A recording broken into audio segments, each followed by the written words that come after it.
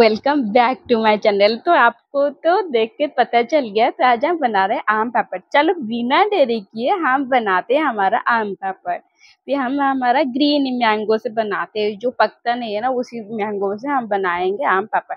तो देखो, पहले मैंने ना सारे छिलके को ऐसे हटा लिया है और कट करके अच्छे से वॉश कर देना आप पहले, क्योंकि उसी के बाद, कटने के बाद आप वॉश मत करना, नहीं तो पानी रह जाता है ना तो सूखने में ज़्यादा टाइम लगता है। तो देख लो पहले मैंने अच्छे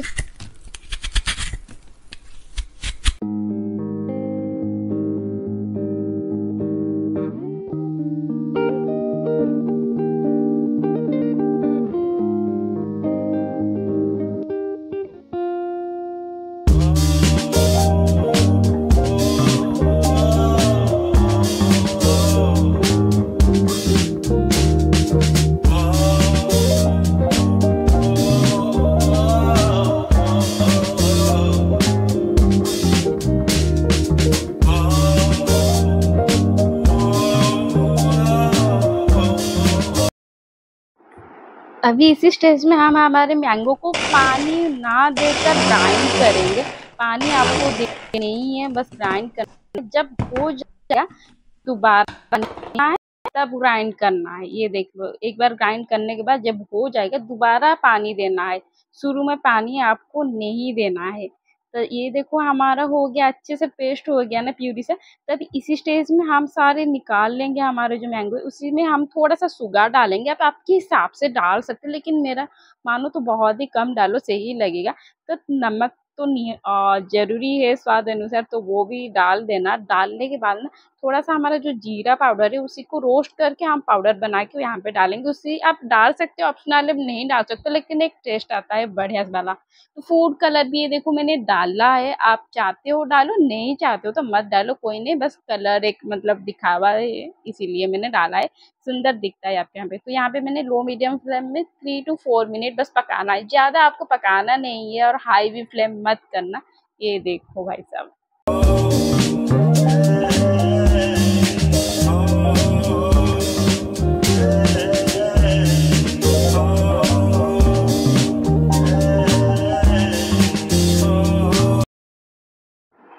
अभी इसी स्टेज में हमारा मैंगो जो है थ्री टू फोर मिनट हो गया है और पक चुका है अच्छे से।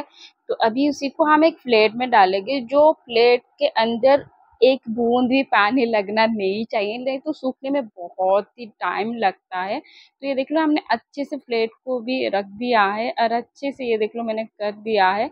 आप दो तीन प्लेट भी यूज़ कर सकते हो जल्दी सूखने के लिए। ये आपको लगता है टू टू थ्री डे मुझे तो दो दिन लगा। दो दिन के बाद आप देख सकते हो अच्छे से आपको सनलाइट सनलाइट के नीचे रखना है दो दिन में सूख जाएगा और नाइट में उसको वो बाहर नहीं रखना है। ओके तो पंखे के हवा से आप सुखा सकते हो लेकिन ज़्यादा आप कोशिश करो कि सनलाइट के और जो होता है वहाँ पे सुखाने के लिए। देखो मेरा भी अभी हो गया अभी है। उसी स्टेज में आपको क्या करना है अच्छे से रोल करो। जैसे मैं कट लगा रही हूँ वैसे कट लगाओ नहीं तो आपके हिसाब से आप कट लगा सकते हो।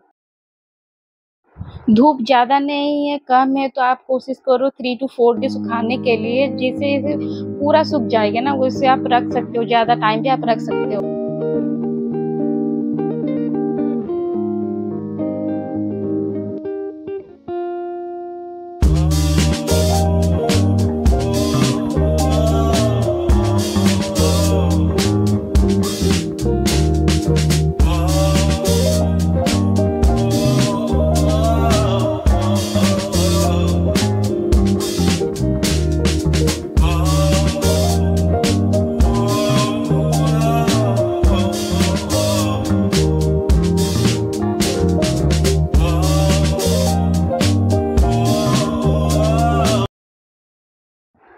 मैंने यहाँ पे रोल रोल करके कट किया है। आप आपके हिसाब से कट कर सकते हैं।